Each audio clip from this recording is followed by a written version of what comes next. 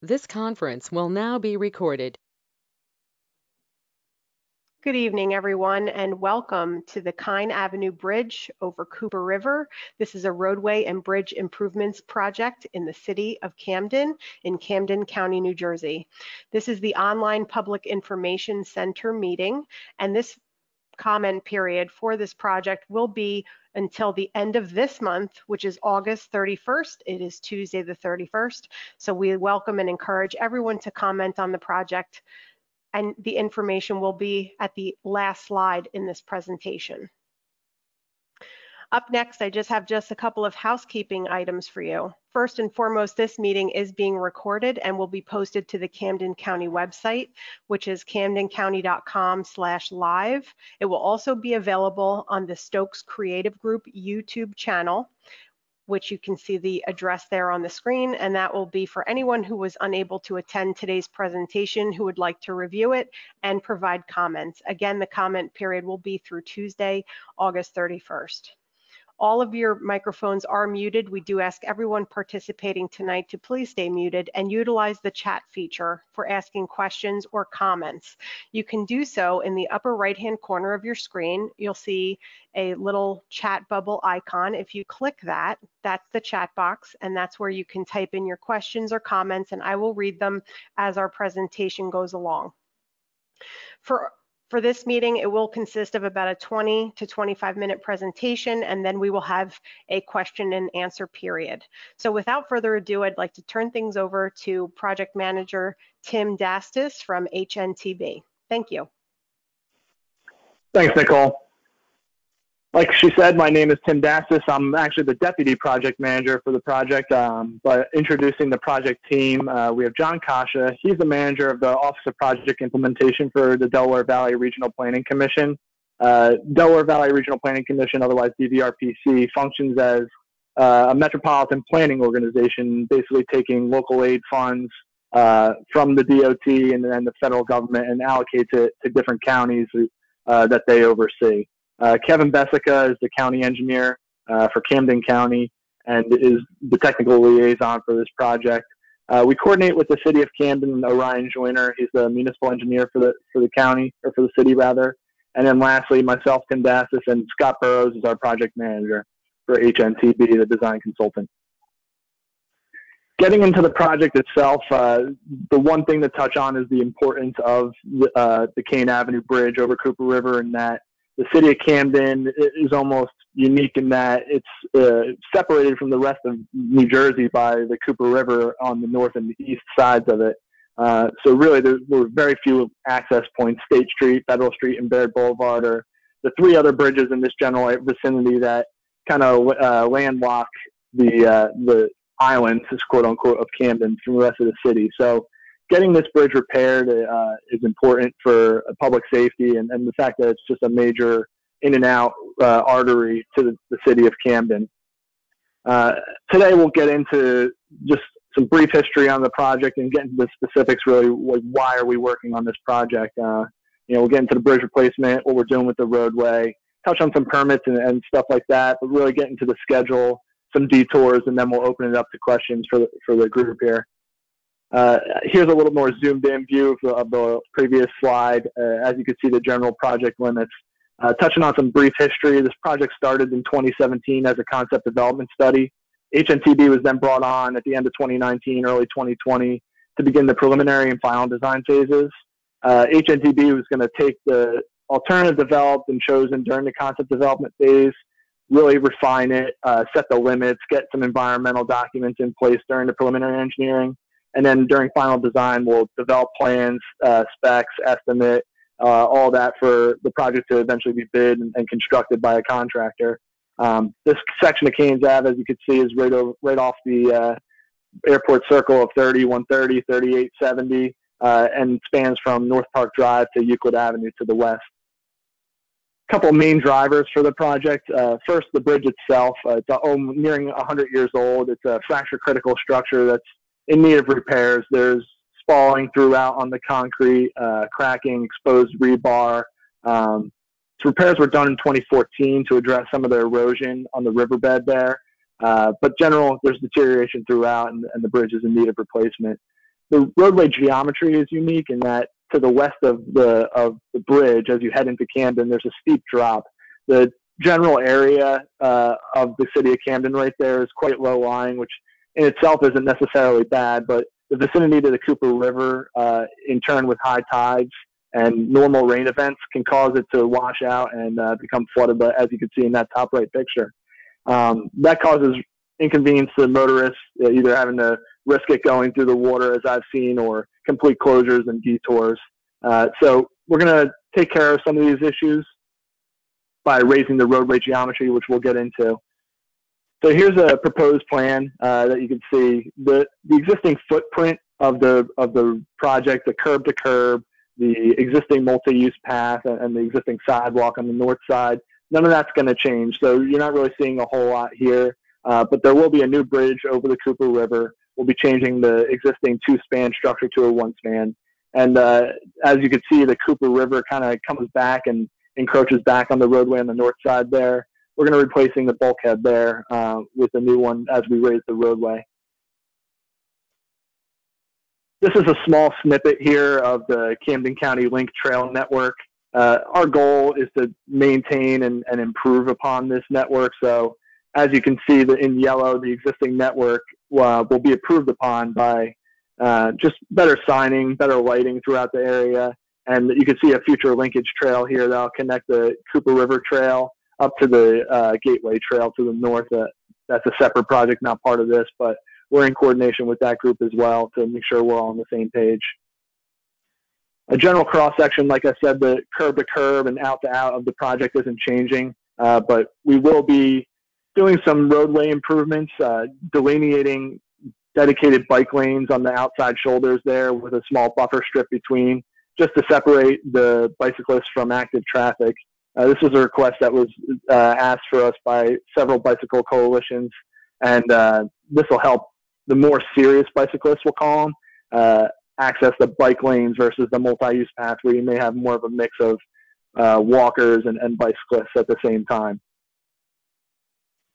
Getting into the profile, as I previously mentioned, uh, the roadway geometry drops significantly as you head west, which is to the leftward direction of, of this slide, and, and, going into Camden, which you can see where the existing ground call is. This is your preliminary, this is your main area where you see a lot of the flooding uh, during the high tide events.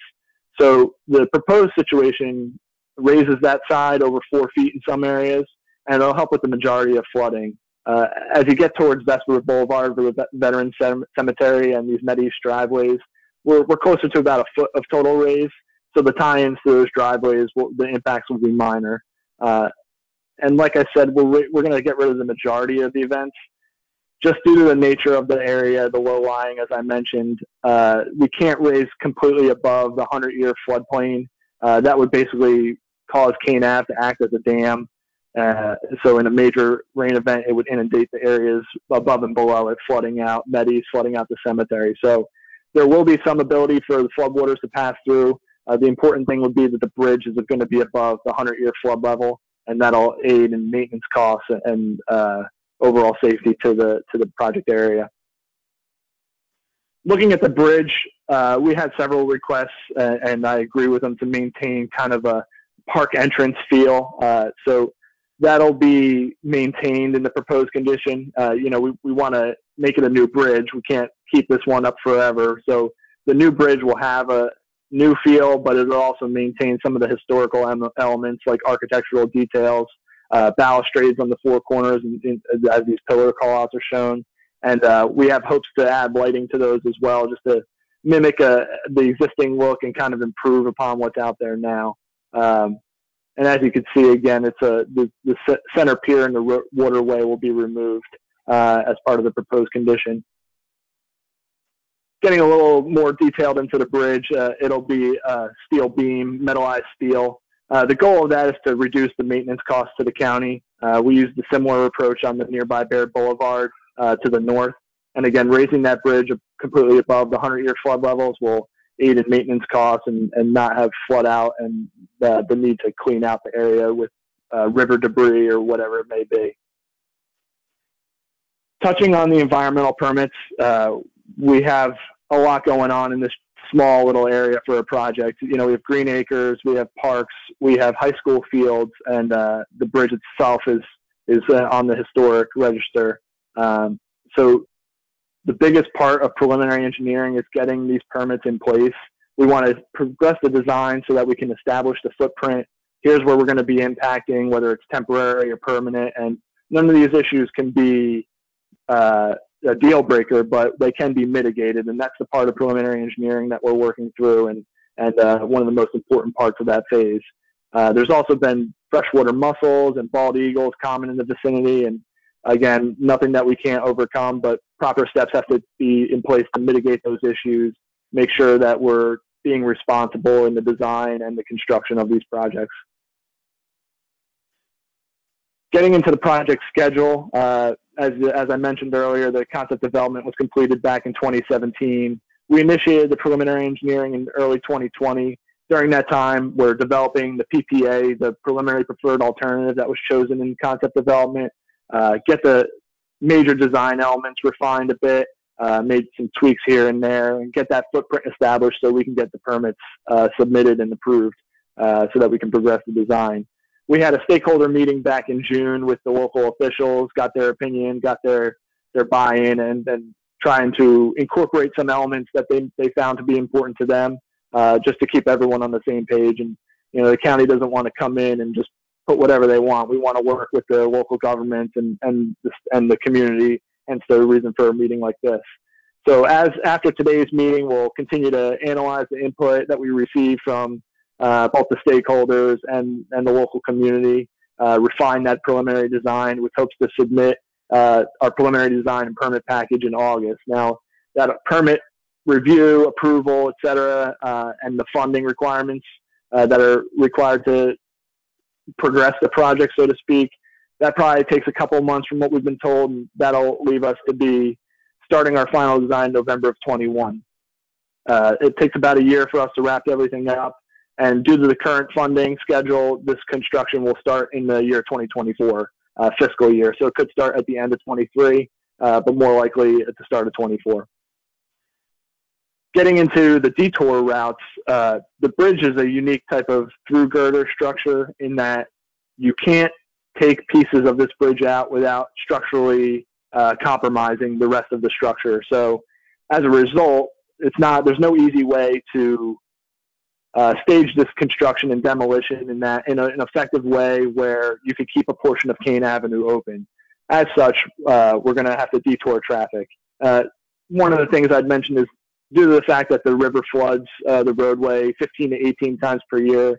This isn't something that the motorists and the general public is unaware of. This isn't a foreign route. Uh, this is the one that you would often be detoured to. So exiting Camden, you would uh, then use Park Boulevard and, and Kaighn Ave to access Baird to Admiral Wilson. Now get you right back to the 130 circle. Uh, and alternatively, heading into Camden, uh, the biggest thing here will be the approach signage. You know, I never like to detour route before you get to the closure, so signing will be key. If if the motorists do happen to go down Kaighn Avenue, they'll be detoured down North Park Drive back to that U-turn by the uh, driving range and back up Admiral Wilson down to Baird Boulevard to get back to the city of Camden.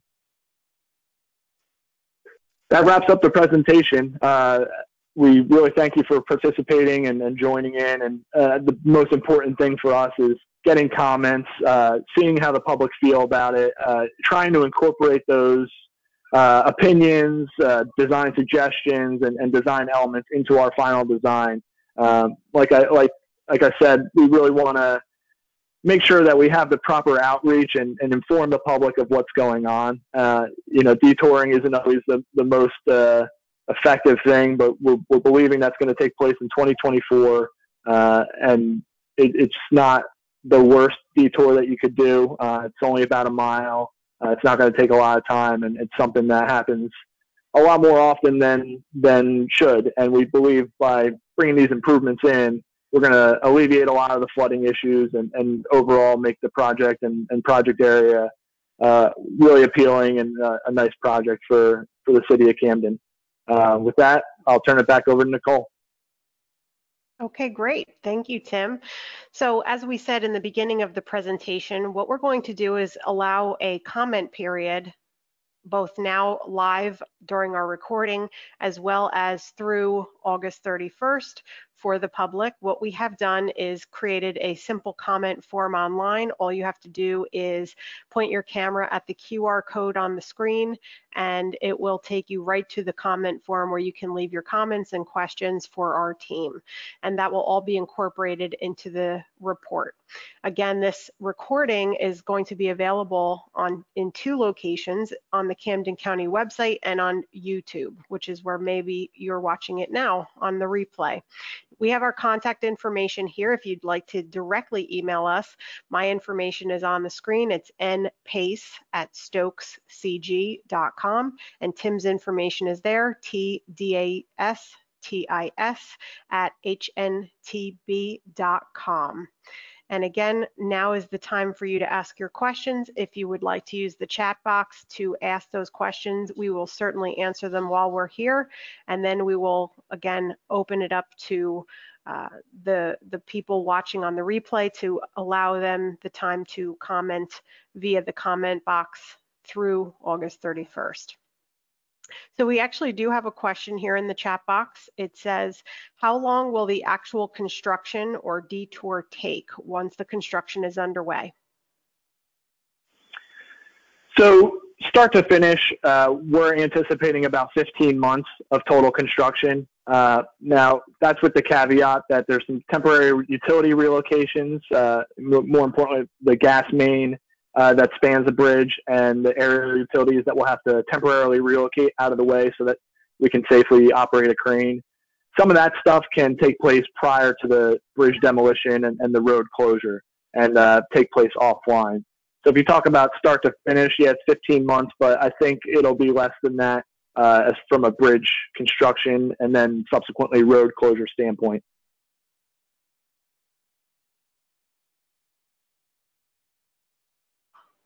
Great, thank you so much. Uh, the next question is, will any sewer reconstruction be involved? No, so like we will be raising the roadway significantly. In that case, new inlets will be put in uh, or reset and raised where where applicable. Uh, but the general uh, sewer system won't be. I should mention that here is not a combined sewer system in that uh, the stormwater uh, will drain does drain to the river, but the sanitary sewer does not. Uh, that's a, a, separate offline system, unlike the unlike other parts of Camden.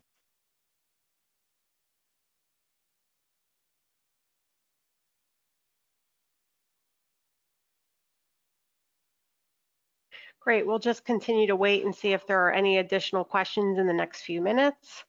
And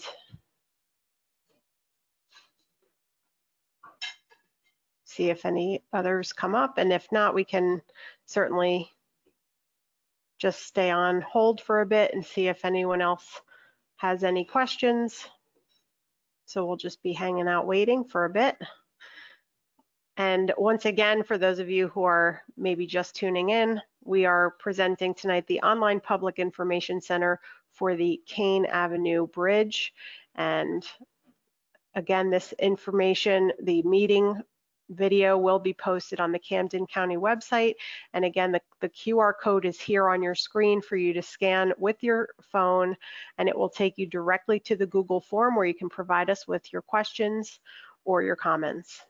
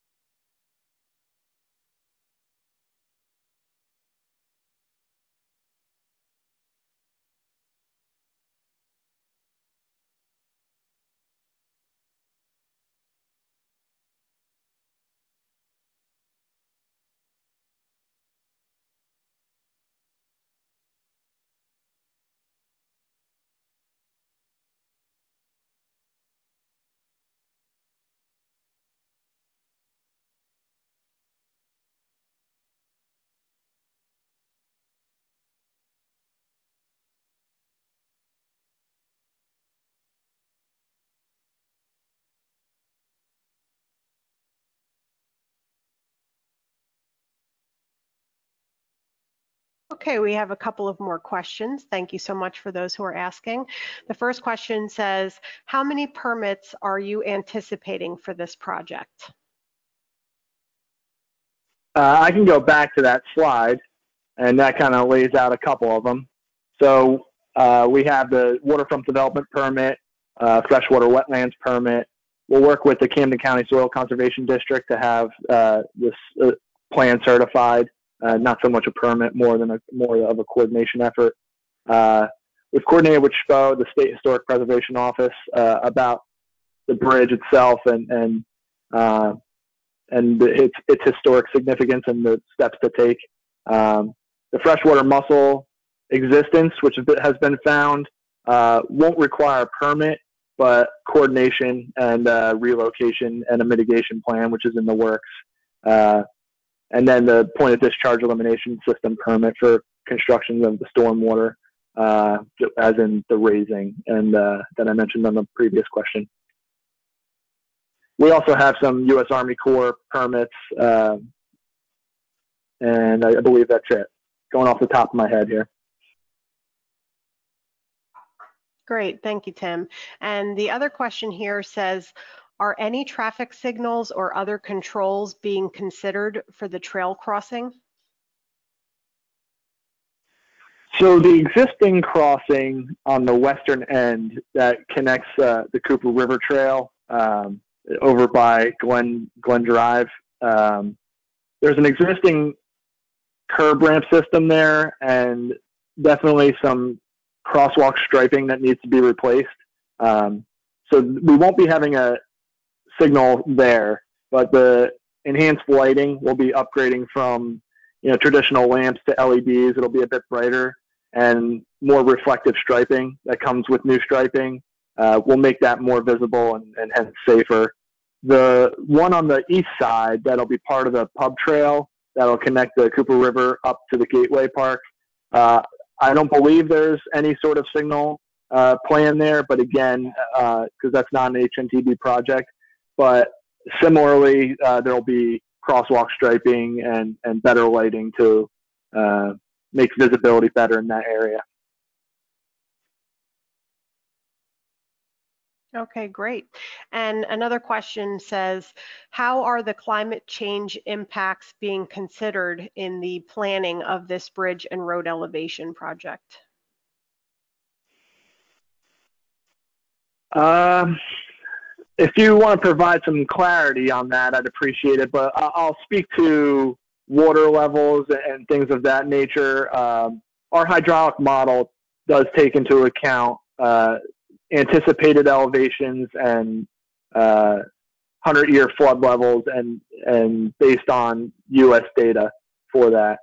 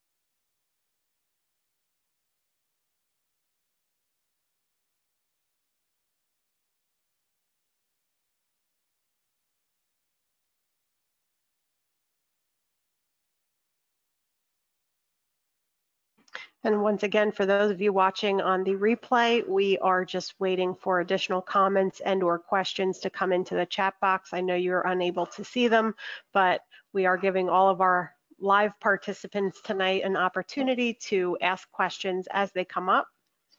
And we do have another question that just came in. It says, have project sea level rise impacts on water level and increased storms gone into the calculation? I don't want to speak to that uh, because I, it's quite simply I, I don't know the answer 100%. Uh, I will consult with my my drainage and uh, environmental expert that we have on our team here, and uh, I can reach back out to you and provide that answer. And if you'd like us to get back to you on that question, the easiest thing to do would be to send a private message to me with your email address so I can get the proper answer for you on that question. And that way we have a way to reach back out to you. Any additional comments or questions? We'll just wait another few minutes and see if any others pop in.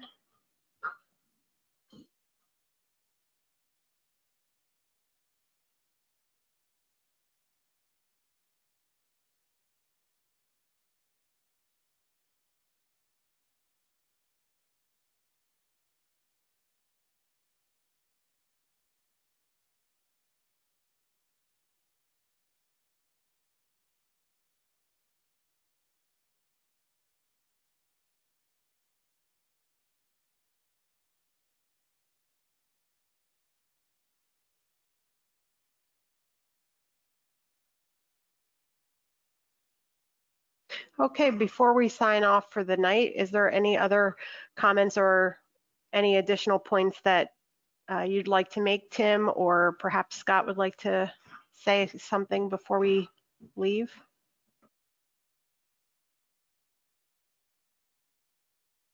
Uh, I think I said it already. This is an important project to the county. Um, this is something that wouldn't be possible without the help of DVRPC, uh, and in general, it, will benefit not only a county-owned asset in that it's a road and bridge that belongs to the county, but the access to the city of Camden will be greatly benefited by the reduction of flooding, the improvement of a of an existing structure that's in, in need of repair, and and the, in general improvements to lighting and, and the multi-use trail will really give a good look and feel to this area uh, as you come into Camden.